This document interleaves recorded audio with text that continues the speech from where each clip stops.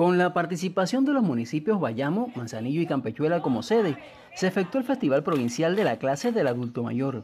Los múltiples beneficios de la actividad física en la tercera edad sustentan con creces los esfuerzos que se realizan a nivel nacional para fomentar esta práctica en cada barrio. Los practicantes refieren que su estado de salud mejora considerablemente, ganando en fuerza, equilibrio, recuperación de la movilidad logran mejor control de la presión arterial y de enfermedades cardiovasculares, toda vez que la interacción con personas del mismo grupo etario constituye una herramienta poderosa contra el aislamiento social. Tras la presentación de las tres clases, el jurado decidió otorgar el primer lugar a la licenciada Yoneidis Echevarría Zamora de Bayamo, segundo a Campechuela y tercero a los de la ciudad del Golfo. Manuel Palomino para en directo.